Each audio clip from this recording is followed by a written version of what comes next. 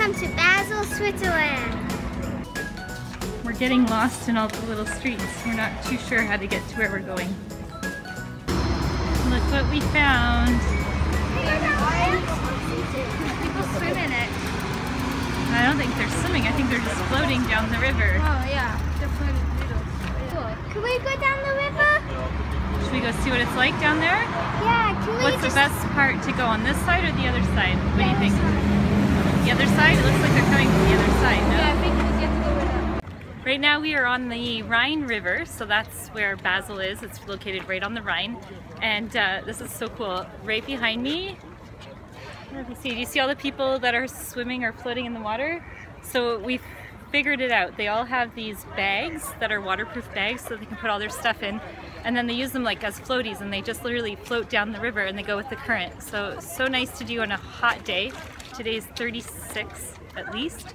So really nice activity to do. It's hot. So we're gonna go see if they maybe rent them so that we can just jump in that river and cool off at the same time.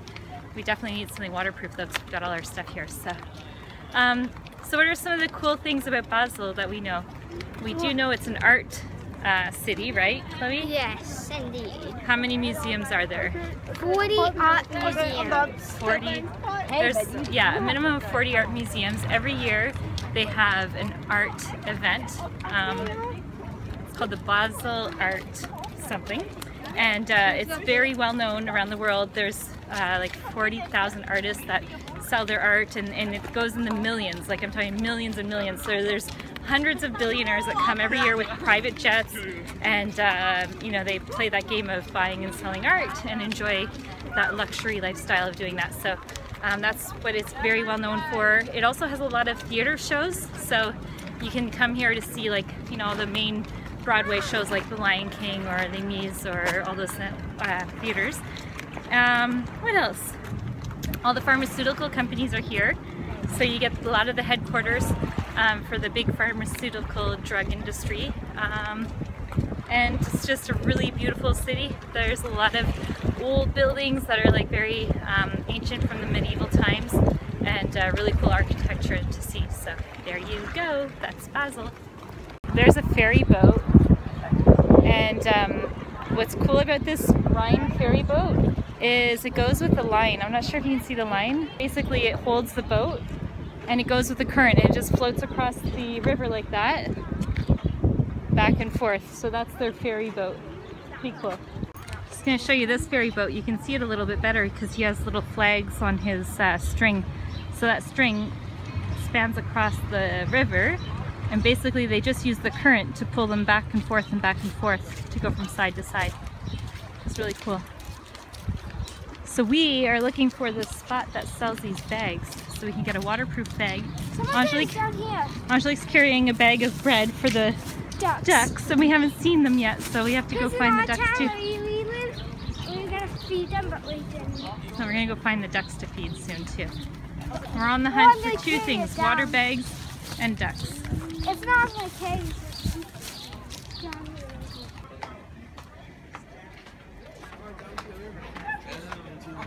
I guess the highlight of what to do here is float down the river and it looks really nice and really refreshing.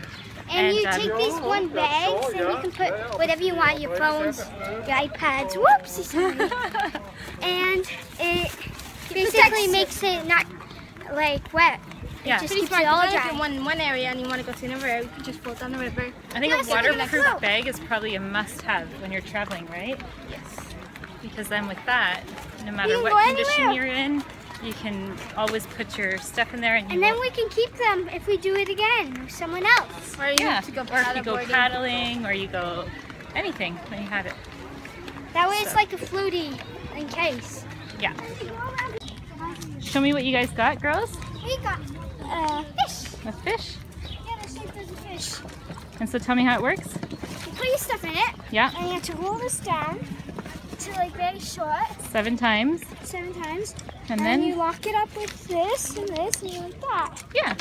So what the guy said, and what, well not the guy, but the, the sheet that comes with the bag, the instruction sheet, says we decline all responsibility for your electronics.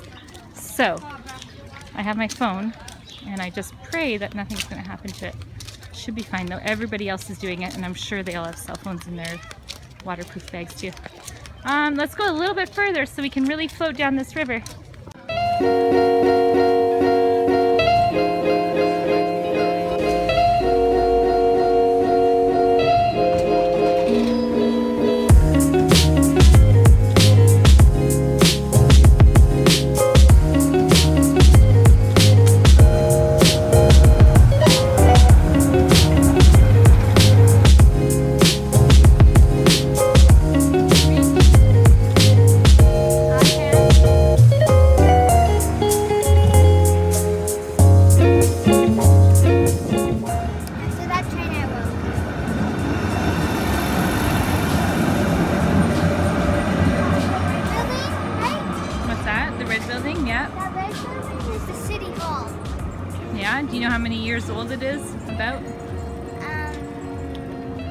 Think it's about 500 years old. Should we go come closer? It's got a really cool design all over it. Really, really pretty. Do you guys think that's real gold up up at the top? Yeah. Tower? I think so.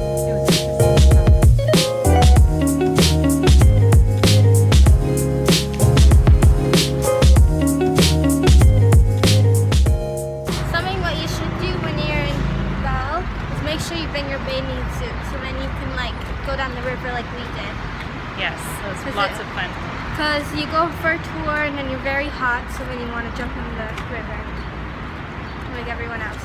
And it wasn't even that cold, was it? No, that's just It's just right. How many water fountains have we seen so far? a lot. A lot. There's another one right behind us that looks just like all the other ones, which is really cool. It must be like a signature thing for the Swiss German part of the country because we don't. I guess Lausanne had one like that, didn't it? Yeah, they did.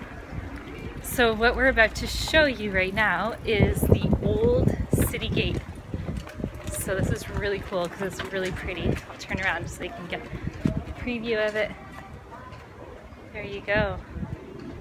So it has like the old gate entry clock at the top of it.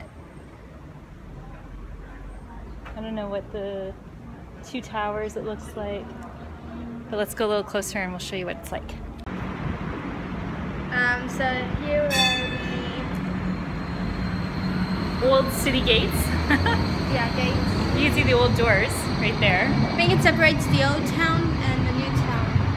Yeah, it's remnants of what they used to have. It's really cool. Look up there. See what it looks like. There's all these spikes on it. That's for the birds, so that the birds don't go. But yeah, this is It's it. from 1867. You see the date somewhere? 1867. That there, okay. In the 1800s. It's nice that they kept it here. It looks really, really pretty though. It looks like a castle tower.